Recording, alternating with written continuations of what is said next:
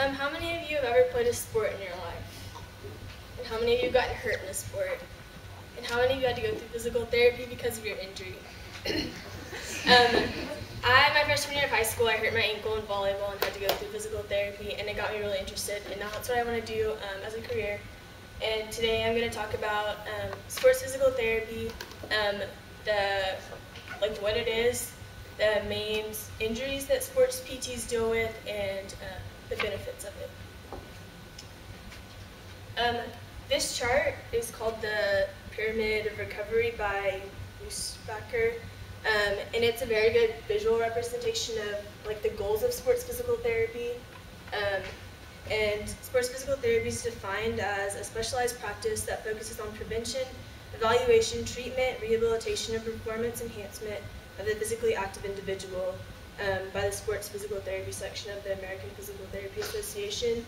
Um, and this just proves that it's so much more than just um, rehab from an injury. It's also um, a big part of it is prevention of injuries, and a lot of sports teams have physical therapists that work with them to prevent injuries from happening. Um, now that you know what sports physical therapy is, let's talk about some of the common injuries.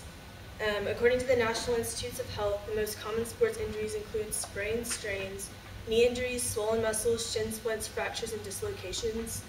Um, the main reasons for injuries are failure to warm up and um, stretch correctly, um, the failure to perform the correct technique, and just being out of shape.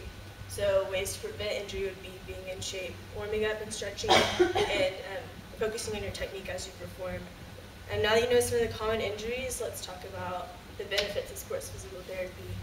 Um, sports physical therapy can increase your uh, rate of getting back to your sport.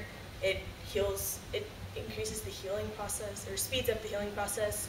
Um, it also helps you get back to being closer to the full level of performance that you're at before you got injured, and it helps prevent future re-injury. Um, in conclusion, in conclusion, sports physical therapy is very important on the road to recovery. Um, without it, you are more prone to re-injury. Um, you, now you know what sports physical therapy is, um, common injuries, and the reasons that sports physical therapy is so important. So next time you get injured in a sport, try not to bypass physical therapy, even though it's not always fun, because it's very beneficial in the future.